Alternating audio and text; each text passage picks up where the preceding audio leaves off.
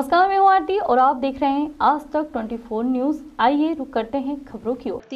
वारदात को लेकर अलीराजपुर ज़िले के पुलिस अधीक्षक मनोज कुमार सिंह के निर्देशन में टीम गठित की गई है। नानपुर थाने में 15 जून 2022 को अतिरिक्त पुलिस अधीक्षक एस आर सेगर व एसडीओपी जोबट नीरज नामदेव के मार्गदर्शन में टीम गठित कर थाना नानपुर प्रभारी उपनिरीक्षक भूपेंद्र खरतिया और सोनी बाबूलाल गहलोत, नारायण लाल पाटीदार प्रधान आरक्षक प्रताप, आरक्षक गजेंद्र, आरक्षक विनोद, आरक्षक रघुवन टैगोर, आरक्षक राकेश मौर्य द्वारा वाहन चेकिंग खट्टाली रोड पर की गई है।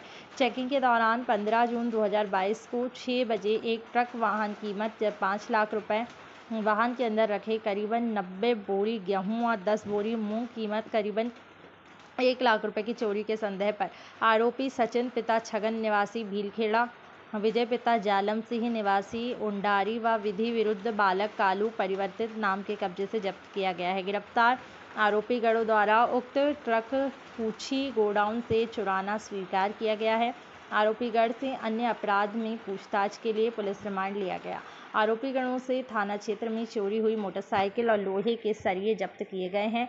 दीगर गुजरात छोटा, राज्य के छोटा उदयपुर से चोरी चार पहिया पिकअप वाहन क्रमांक G J thirty four T eight one eight one कीमत करीबन चार लाख रुपए।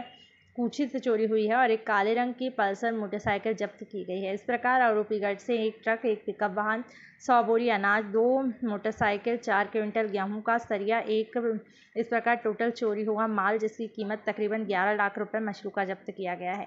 नानपुर पुलिस के सराहनीय कार्य के लिए पुलिस अधीक्षक मनोज कुमार सिंह द्वारा नानपुर के थाना प्रभारी भूपेंद्र खरतिया व उसकी पूरी टीम को उत्साहवर्धन हेतु इनाम से पुरस्कृत करने की घोषणा